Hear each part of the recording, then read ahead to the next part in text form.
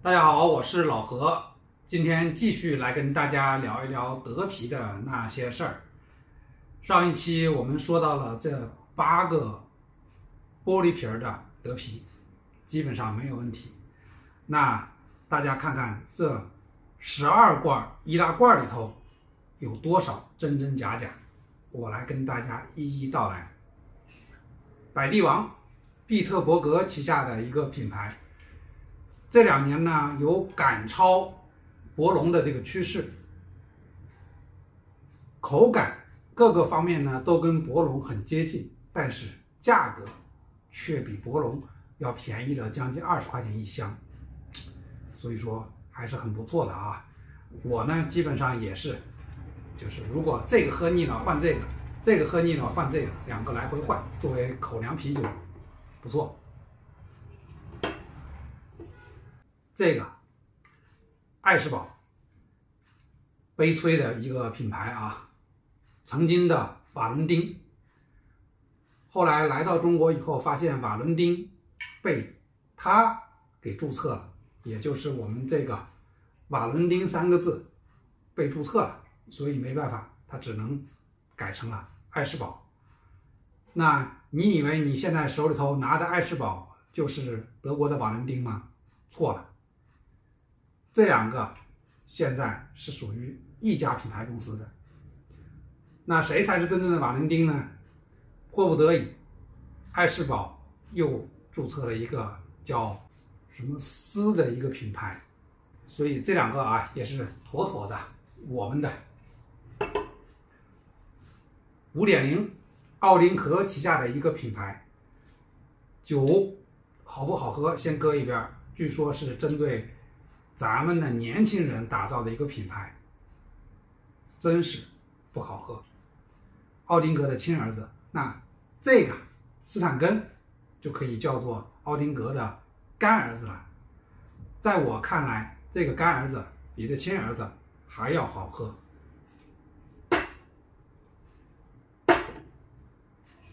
凯撒，我之前说过，这个是凯撒顿。还有什么凯撒精酿、凯撒窖藏等等，只要是凯撒后面加了后缀的，妥妥的，也是特供的。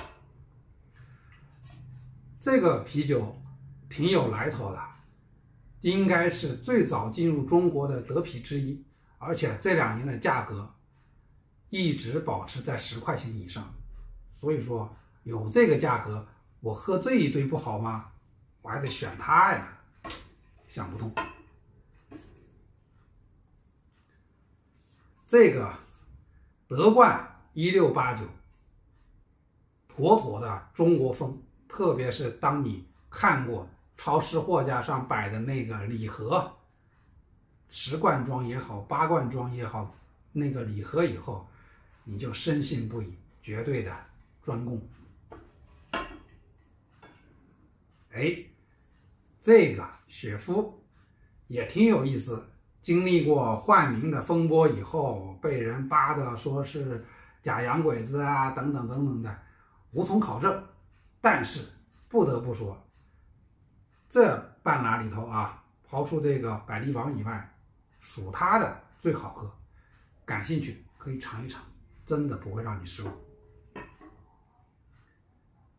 这个。在德啤里头，为数不多的采用品托为单位的，也就是五百六十八毫升的容量，还特意标出来了，加了百分之十三点五，而且看到了吗？显著的黑红黄德国国旗的颜色，妥妥的就让你认为它是德啤。但是我想告诉你，也是我们的定制产品。法兰奥德，嗯，怎么说呢？因为费尔德堡被中粮给代理了，所以说呢，那他就只能用这个低端的法兰奥德进到市场上来了，不怎么好喝。宾利，这个也是才出现在市场上的一款啤酒，不好喝，价格还不便宜。施瓦本，施瓦本呢本身是巴伐利亚的一个地名叫施瓦本，而且我们也很少见到采用地名作为品牌的，标注的是什么丁克拉克私人啤酒厂酿造的。好了，这就是十二罐易拉罐的德啤。不知道您看完这两期视频以后，是不是感觉又可以少交很多智商税啊？下一期我会跟大家来做一个汇总，用文字版的形式把这些啤酒做一个分类说明。好了，这期视频就到这里，拜拜。